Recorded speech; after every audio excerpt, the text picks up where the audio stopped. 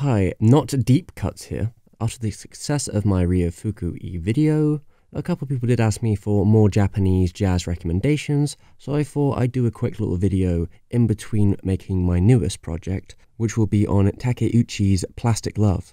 Also, I started a Patreon, so if you want to support the kind of work I do on Japanese pop culture and animation, music, whatever I'm feeling like at the time, that would be much, much appreciated because it will mean I can keep doing it. Anyway, so let's uh, let's get going. I'll start by saying this is more of a personal choice list, and there are plenty more since it's such a wide genre. I'm just picking from a couple different areas that I'd find would be approachable for newcomers.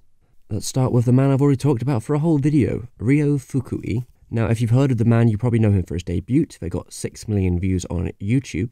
He was a self taught jazz pianist who focused on hard bop and modal jazz towards this clean and catchy approach with many of his songs being renditions of jazz standards.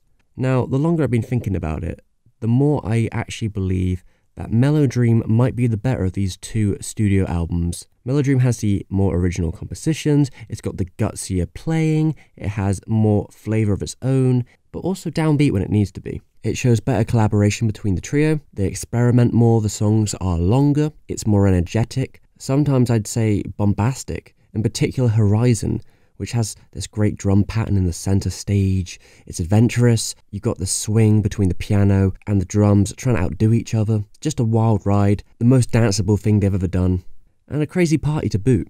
And this is why I think the album as a whole lives up to Scenery, its bigger brother. So when this album has not been the life in the party, it can be quite introspective and dour. You've got tracks like Funny Valentine and My Foolish Heart.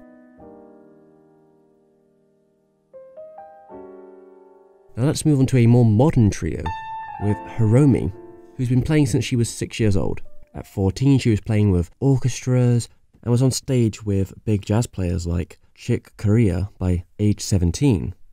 If you can, I'd recommend checking out some of her live performances because I believe Hiromi really does shine in that area because you really get a feeling for the energy, precision, and wild, messy kind of playing that she does. So I'm going to be talking about Spiral today, which is her 2006 album, and definitely a breakout for her.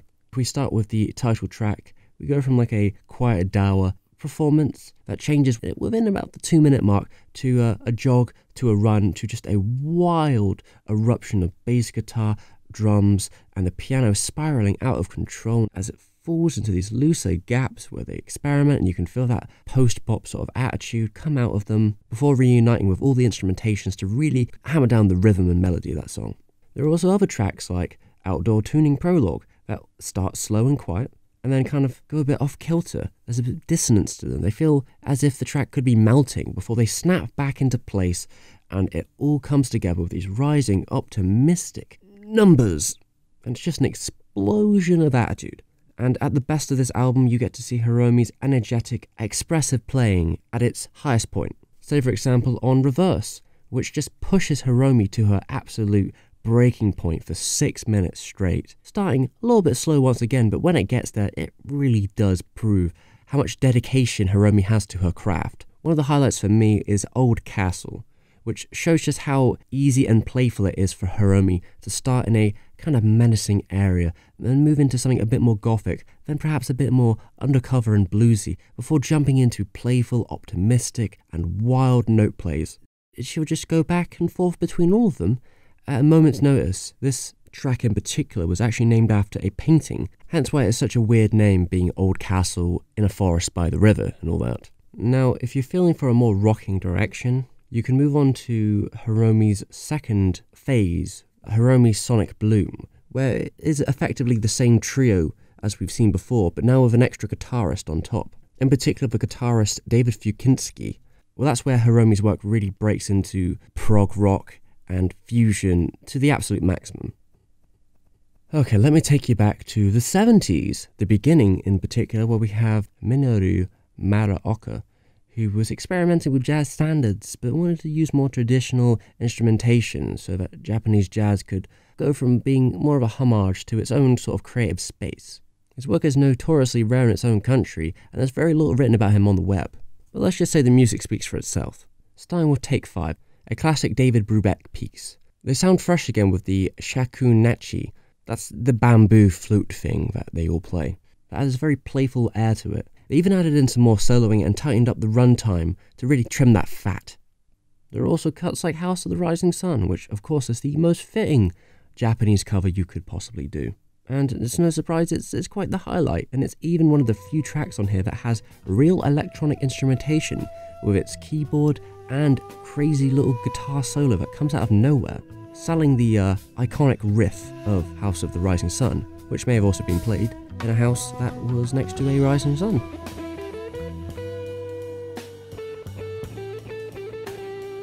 The album had a couple original tracks like Positives and Negatives, which is about like a 10 minute odyssey. It's an experience to go through, with as many phases and standout percussion that just builds up.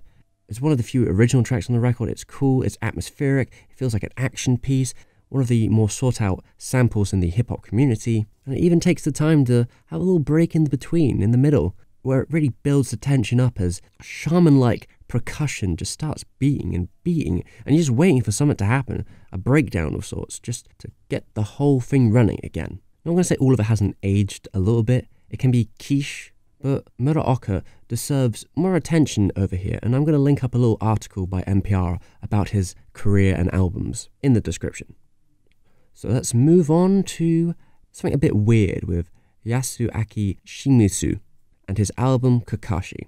This will be the most abstract pick I choose, and some might say this isn't even real jazz, but I disagree. I believe that Shimizu's performance as a saxophone player, as well as just the huge amount of jazz instrumentation on this album, just works. It just is in itself a strange, off kilter jazz album that was trying to push the boundaries of what it really meant to be that kind of album. It takes a lot from its contemporary influences. He's a forward thinking man, that Shimizu. He has these strange vocal samples and a sonic language of instrumentation that's just uh, in a world of its own. Distorted clarinets next to these angelic marimbas, which I think are just these big African xylophones, if you're wondering. You see it all with the opening track, which begins with this ominous little tune that just comes out of nowhere, and then suddenly you're just in this metallic world with a piston pulsing beat an uplifting melody infused with a distant, distorted vocal chant about water lilies. It's, it's a wild, nonsensical, absurdist ride. Feels a bit like you're in a crazy toy shop, and just sets the tone for the whole album, which is how it can radically swing between styles at any moment in its 37 minute runtime. In its self titled track, we are brought into this dream world where everything is now just really calm and lush. You got this long, distant echo in the horizon. You got these triumphant horns with a little distortion on them, a little delay, with uh, even a soft African style percussion in the backdrop. It almost feels like I'm on a beach, having a little nice time on the beach alone. As the track continues, the layers of instrumentation just build, but they create such a serenity. They never go too far, it never becomes too overwhelming. Because you can bounce between unsettling and nervous to just calm, serene, or uh, kooky and silly. It can be just a fun time, or it could be a somber retrospective at the campfire. And you won't find many other albums that can do this sort of stuff, and that's why I think I love this album so much. Definitely check it out. It was also just re released not so long ago, and I'm going to put that in the description too.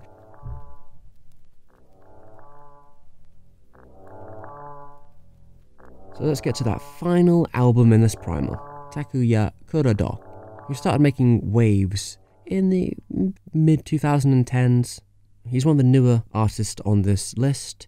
He came into the game about eight years ago. Well, he got big off the LP Rising Sun, which I will admit has some pretty decent songs. I like Everybody Loves the Summer. To me, Zigzagger was the album that piqued my interest.